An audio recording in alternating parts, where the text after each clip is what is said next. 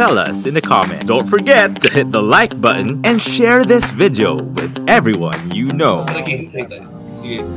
Ah, binabati ko lang din yung family ko sa kabanatuan na nakasupport tayo. So, lalo na yung girlfriend ko, inapol niya, nanood talaga.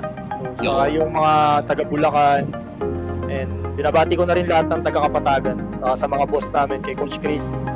Um, supportahan nyo kami sa darating na liga ngayon. Ah, yun lang sir. Renz Pogi daw pa siya, Coach Chris.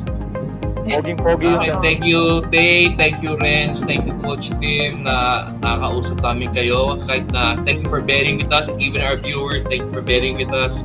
Ang lakas talaga nung bagyong pangarap is Bautista.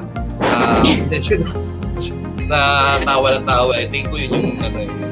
Anyway, catch us on Sunday. We have a very special episode. Um, iba naman. Ano naman tayo rito?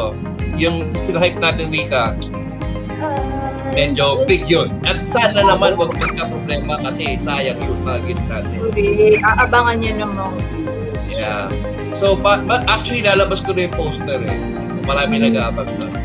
But until then, everybody stay safe. Uh, ingat sa bagyo. Stay indoors. And if you don't need to go out, please do stay at home. Good night and enjoy your dinner. Bye-bye, everybody. Stay tuned for the next episode. Only here on Z81 Radio, Manila.